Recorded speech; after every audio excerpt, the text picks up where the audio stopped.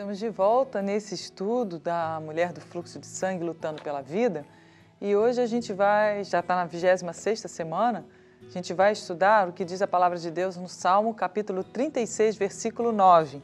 Diz assim: Porque em ti está o manancial da vida e na tua luz veremos a luz.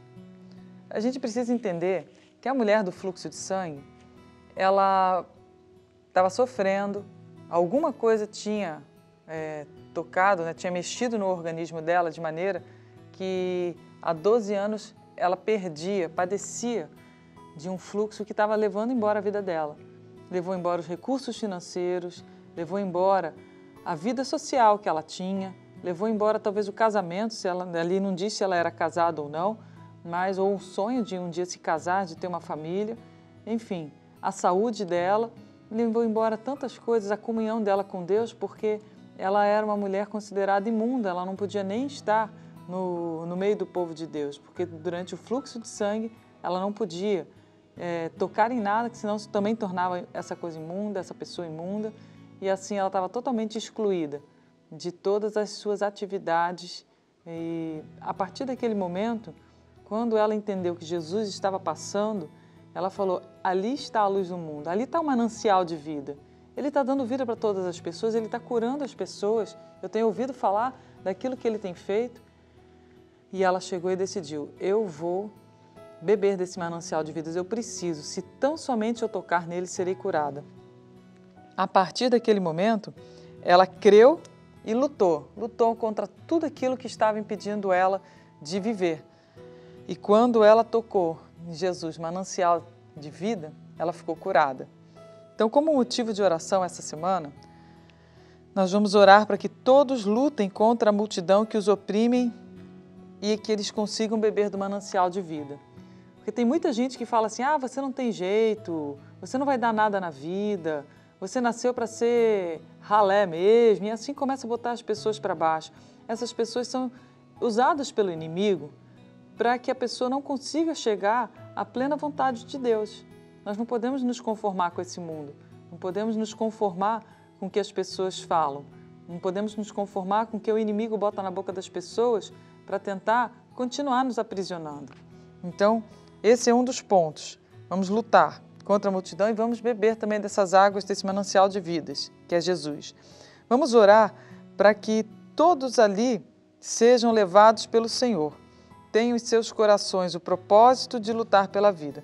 Todos os que estão passando por essa situação, que não desistam, não desistam da vida, não fiquem numa cama em depressão, não desistam do casamento, de lutar pela família, por mais que tenham passado por decepções, não desistam de ir ao médico, de fazer os seus exames, de, de, de fazer o seu tratamento médico. Tem gente que desiste, né? E acha que não, não vale mais a pena viver. Não, vamos orar que essa pessoa vai se levantar também. Vamos orar também para que haja purificação de mágoas, ressentimentos, ódio, inveja, cobiça, enfim, todos os sentimentos que têm tornado as pessoas impuras. A mulher do fluxo de sangue ela estava imunda.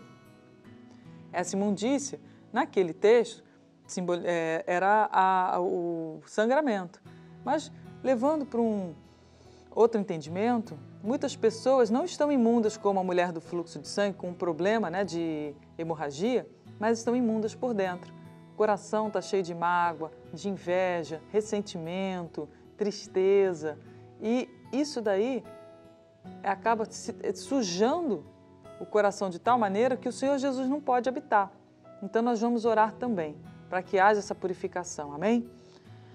Pai, em nome de Jesus, colocamos nessa hora, meu Deus, todos que estão, meu Deus, assistindo esse vídeo, Pai, levamos a Ti, Senhor. Sejam levados por Ti, Jesus, até Deus, para que tenham seus corações, meu Deus, o propósito de lutar pela vida. Eu oro por aquele que já desistiu de viver, por aquele, Senhor Deus, que não tem conseguido, meu Deus amado, ter ânimo para terminar o seu tratamento médico, por aquele, meu Deus, que colocou profundas tristezas no coração.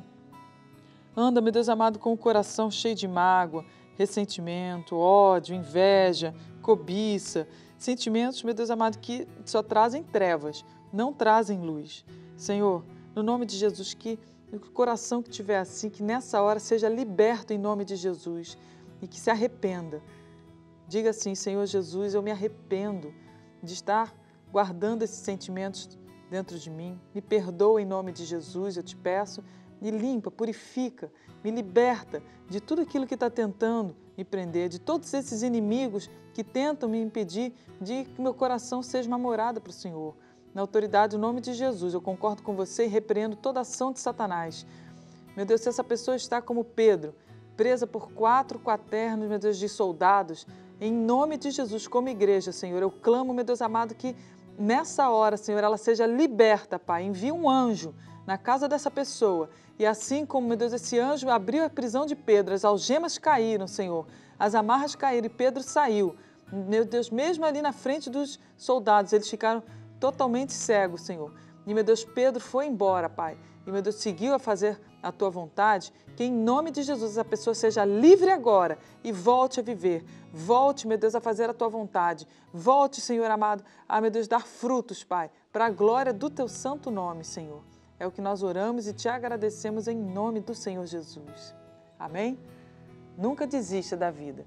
Lute pela vida. E a verdadeira vida é quando nós colocamos a palavra de Deus, a vontade de Deus no centro da nossa vida e nos esforçamos para viver ela em todos os instantes. E conte, saiba que Deus é contigo. Deus te abençoe em nome de Jesus.